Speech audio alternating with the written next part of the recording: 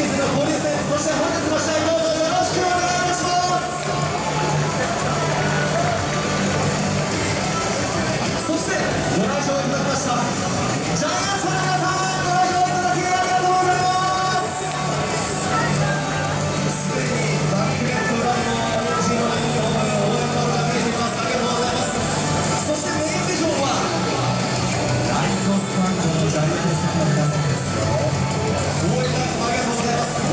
さ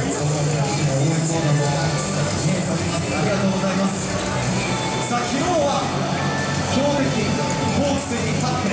連をしました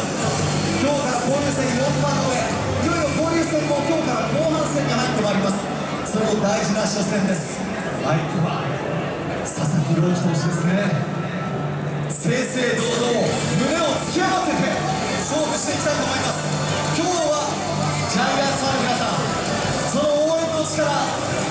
見せどころですよ。ぜひプレーボールから最高の応援を届けて勝利後押ししていきましょう。そして今日から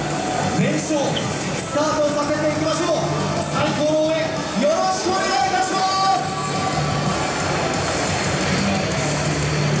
さあその中で皆様には